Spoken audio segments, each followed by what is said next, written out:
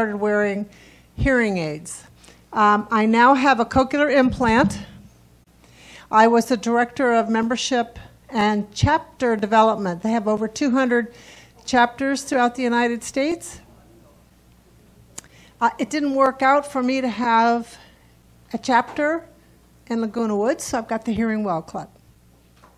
I am the chapter advisor for two hearing loss support groups that belong to HLAA, Hearing Loss Association. One is in the city of Orange, and the other is in Mission Viejo. So I'm always busy working with people with hearing loss. So, um, and the purpose. Oh, let's let's get assistive listening devices. In addition to captioning, we have assistive listening devices. So, okay, Hope's got one. Who would like to try? So we have two people. If you raise your hand and keep your hand up, we'll bring one to you. In a room this size, in a room this size, um, and the microphone, the sound has a tendency to bounce all over the room. It kind of creates a reverberation. If you have hearing aids, you may be overhearing. And so I'm going to change something while I'm talking. So, using an assistive listening device is a good idea. And so we have them here. We also have I'm going to run through this really quick. I go through this before every meeting. And for those of you who are regulars here, you, you're probably all using the hearing loop, and you're sick and tired of hearing me talk about it. So I'm going to try to be quick. How many new people do we have in the room? Okay. Good. I want you to know about hearing loops. Hearing loops. There is a hearing loop in this room. You don't see it. It's it's a copper wire that's running around the baseboards here. And it is connecting to hearing aids that have a telecoil. A telecoil. So let me just get more. So there's a picture of a room and you can see that the copper wire could either be in the ceiling or it could be on the floor. It's connected to the sound system. By the way, Brian, you could start that camera. we are videotaping um, this session. We've started videotaping all of our meetings. Um, so, and I upload them to YouTube. And so that if you miss a meeting, you have a chance to catch up.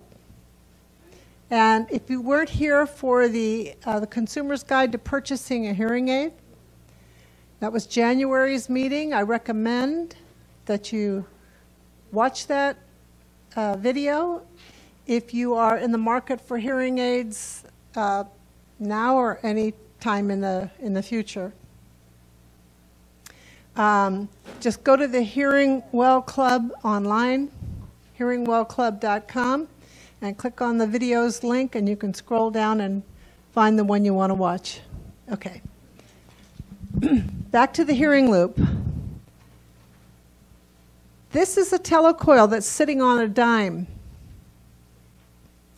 And this telecoil is inside the hearing aid. 80% or better of the hearing aids that are available now have this in them, but you may not be aware that you have it. So there's a hearing aid, and that's what kind of looks like inside. That was one picture I was able to find. What, I, what you need to do is you need to ask your hearing aid provider if you have one. And if you do, ask them to activate it and, and set it up as a program. Most of you have hearing aids are aware that you have programs. You've got program one, you got program two for the restaurants, or supposedly to reduce background noise, that type of thing. So program three or four would be your hearing loop or telecoil program. So it's easy to add, easy peasy if you have a telecoil. So you want to get this little brochure that's in the back. See it up here? And because it has on there, do I have a telecoil? So it explains a little bit about hearing loops. It explains about telecoils. And it even has a message right here for your uh, hearing aid provider. So take, make an appointment, uh, call them, make an appointment, go in and have it uh, activated. So why in the heck would you want to do that? that's, that's the question. Uh, I also have another flyer that's in the back. It's called What is a Hearing Loop? And the other one is uh, T-coil equipped, uh, T-coils expand the functionality of your hearing aid. So be sure and pick, pick up one of these and this flyer to help educate yourself on hearing loops and telecoils. So the people that are listening in on the devices now are hearing me with no background noise. People who have telecoils and have switched to that program, they are hearing me direct. I, my voice is in their ear. So who's on telecoil now? There you go. There you go. Thank you. Yep. And the, most of you, I believe, you learned about that from me. So, um, yay. Laguna Woods Village. The loops are in Laguna Woods Village. There is a loop in this room, as I explained. There's also one in Clubhouse 2, the main ballroom. That's a big room. That's a huge room. And when somebody's on the microphone, I would not be able to hear them at all if I couldn't turn on my telecoil. I hear them very clearly. Um, the boardroom is looped. What else? Uh, Clubhouse 7, the main room, not the bridge room, but the other room, is now looped. So if you attend meetings in there, um, I, am also the me member, um, I'm the ch membership chair for the PC Club, and they have their meetings there. And I was so disappointed so many times to go and not be able to really understand everything that was being said. So, um, and there's uh, the towers in their activity room, that is looped. And more is coming. They're planning a renovation for Clubhouse 3, and I really look forward to having loops in all the meeting rooms and the theater. Wouldn't that be wonderful? So now, so now I have to tell you a story. Did anybody see Blithe Spirit this weekend? The old pros um, had a play called Blithe Spirit. It's a Noel Coward play, and it was right here in, in the theater. I had tickets for uh, Saturday night. I arrived Saturday night. I checked out a, a, listening device. They don't have a loop there, but they, I checked out a listening device, and um, I sat down, and it didn't work. 40 minutes I sat there and I said, you know what? I am so frustrated. I'm trying, I'm getting like every other word. I'm not getting this. Uh, I'm going home. So I went home. The next day, um, I had a table for the Hearing Well Club at the Village Games opening, and there were three cast members and a production member from Blithe Spirit production. So I told them about my experience, and they were go, "Oh, wow! Well, well, we'll be happy to give you a ticket if you can come back tomorrow for the matinee and see if we can't get this fixed." So I contacted the staff here, and um, at the very last minute, it was discovered, and I've, I've gotten more story after that, um, that the system had been turned off. It was just a matter of a flip of a switch. That's all it was. But I'll tell you, I was so frustrated and so, so, so, so upset. But anyway, since then, um, I've written to the um, the president of the Old Pros, I've written to, uh, who forwarded it to the supervisor here in Clubhouse 3 or the Performing Arts Center. And I got a very nice um, email back from the supervisor explaining that there was a power outage here, and when they turned all the systems on, they all went on except for the infrared system, which is the system needed for the sound for the devices. So, this is why I scream and holler all the time. We need to create awareness about hearing loss. I told the president of Old Pros in my email, I said, I feel that it is their responsibility as well to make sure that people that buy tickets for their program have full enjoyment, including assistive technology. And of course, they said, well, that's GRF that's in charge of all the devices. I know that. But you know, they have rehearsals, and they should be having those systems checked. But nobody is thinking about us. But we need to speak up. My concern is on that Saturday night, there were two people I helped with devices, and, and I think that they missed out on hearing too. They are probably of the mind to say, Oh, I'm just not technical. It's my fault um, I'm just not going to do this again. and they didn't complain. And they will probably never buy tickets again. What a shame. But it's all because people with hearing loss, for the most part, don't talk about their hearing loss. Shh, shh. There's a stigma. And I want to say the more you come to these meetings, the more you learn about hearing loss, that you will be feel less of a stigma. Talk to your family and your friends and make hearing loss a concern in your life.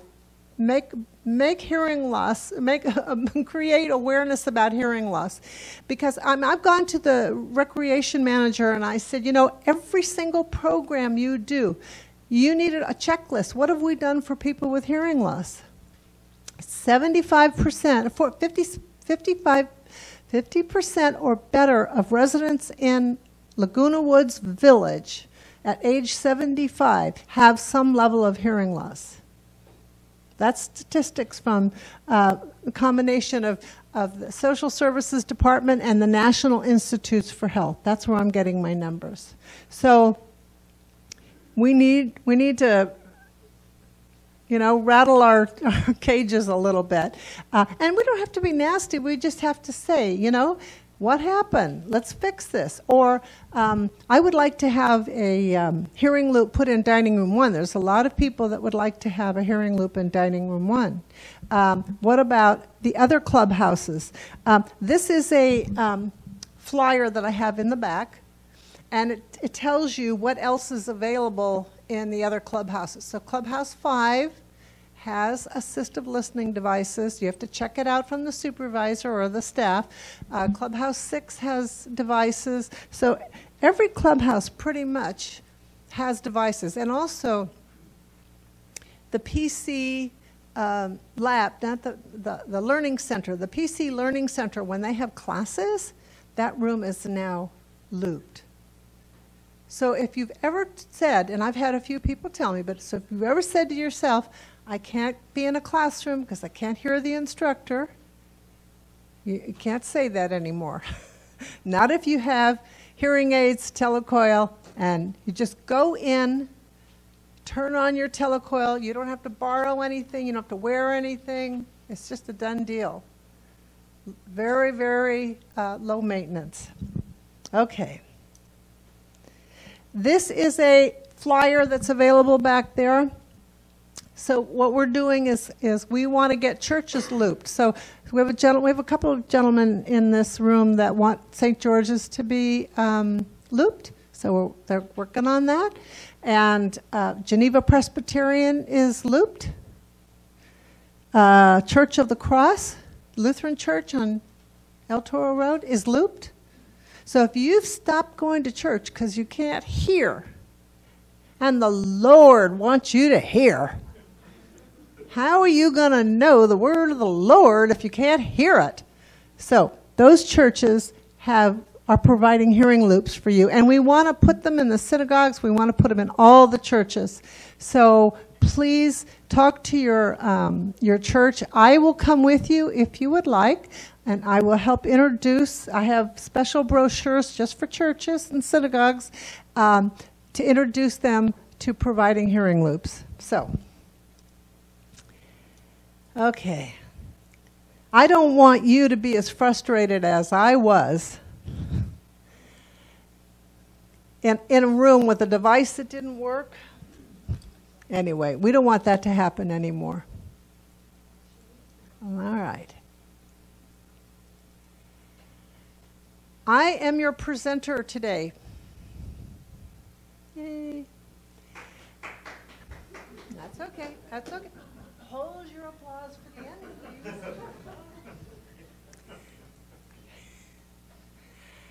Okay. Um, but before I do that, I want to introduce uh, a couple of people to you. One, we'll do a, a little five-minute type presentation, and um, the other one will just stand up. Um, so I want to, uh, Josh, I want you, well, you guys both come up here. Uh, this is Josh. Isn't he tall? He's he's he's tall like Anne Mundell Noel is tall, and and this is Anne Mundell's son. Ah. Thank you. Thank you. Yes. So, and he's the founder of an, a company called Neighboring. Neighboring. Yes. Thank you so much. Thank you. Rich is going to just tell you a few little things about Neighboring. I've already used their services. I'm really happy. Um, and I, I just I don't normally do this, but I, I hope you will allow this little five minute presentation. So here you go. Thanks, Tony. There you go, Rich. Hi, everybody. Yeah. Thanks for having me today. Um, so, yeah, like Tony was saying, we're neighboring. Um, you know, Josh kind of got this idea a while back when he was working uh, as a valet at the Marriott in Irvine, right? And uh, he was kind of, I guess, running in the rain and had this idea of how can I better serve people day to day activities versus just running through the rain collecting cars. So that's where neighboring was born. Um, so, neighboring, we provide services, uh, connections really, between homeowners and local college students. So, Laguna Woods residents with students in Lake Forest, Mission Viejo, uh, Laguna Hills, all around you um, to help you complete chores and tasks around your homes that you don't have the time or the energy to do yourself. So these tasks could be could be anything that you could imagine. Um, am I in the way? No, I'm good. Um, we do any non-professional chores. Um, so it could be things like helping around the house, cleaning, painting, uh, cleaning out your garage, um, organizing IT help. Josh was just telling me some stories about how a few of you had said you hire these expensive services for a couple quick tasks, and uh, it's incredible. You, you spend an hour with a student who knows this stuff like the back of their hand, and they could sometimes teach you better than a, a 10 minute class could. So we always encourage people to reach out to students, um, network with the students. So why neighboring? Why college students? Why hire these local kids? Um, we have a big heart for local communities, uh, for kind of back in the day, you go and ask Johnny down the road to come help you mow your lawn for a couple bucks. That's kind of the same idea. Um, so hiring these local college students uh, benefits you because it's a lower cost to you. Um, you know, these are part-time uh, part-time working students, so a couple extra bucks to go see a movie or go out with friends goes a long way for them. Um, you can also trust these kids because they're all background checked and they're interviewed by us. So they kind of go through a process. We don't try to send crazy people to your house. That's not good. Um, and it's also great because it works off your and their availability. You say to us, I need someone here on Tuesday from 2 to 4 p.m. We send an out alert to the kids saying, hey, who's available from 2 to 4 to help clean a garage? Kids respond, we send somebody your way, the chore gets done, everybody wins. So, how does this process work? Um, so, all you have to do, you can go ahead and call us in. You can even go online or you can email us. Uh, but primarily, we've got that phone service for you guys. Uh, Josh or myself would be answering the phone, so it's really personal. Um, we ask you what kind of chore needs to get done, uh, how long the chore is, and then we find the student. We tell you who's coming. We tell them where they're going, and the chore gets done. So, like I said, our big focus is face to face interactions, personal interactions, neighborly interactions. Um, we are available, you know, phone, website. You can tweet us, Facebook us, fax us, email us, however you want to do it. But we're available for you guys and for servicing our local communities. Um, you know, these kids, they're driven, um, they're smart.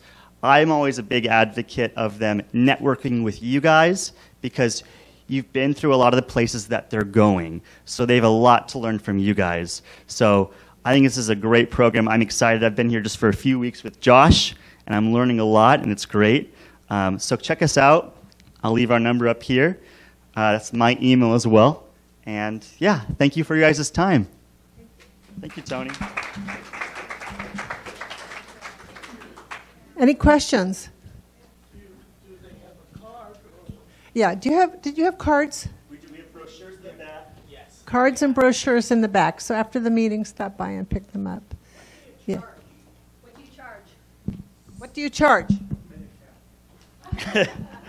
So yeah, we've got uh, preset kind of prices for the hour, but it's twenty dollars for the first hour, and then kind of based on how much longer you need and how many students, it's just preset for you, which we can go over. It's got prices for that all for you as well, but twenty dollars an hour.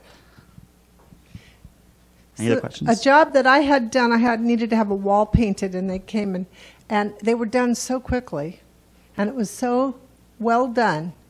So I had more of an hour left, so I said, "Okay, can you take those shelves down for me?" so I got another task done, all in the same hour. So uh, they're willing to do that. yes, we are. Yes. Yeah. Tony. Thank you. All righty. Thank you, Rich. They want to know if you do windows.